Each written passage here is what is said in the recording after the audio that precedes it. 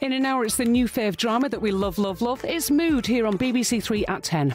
Now, here's what we've all been waiting for. I've got my packet of ham ready to lob at Rue's face in pure joy. With some strong language, adult humour, and discriminatory language, it's RuPaul's Drag Race UK versus the world, the finale. Bonjour! Previously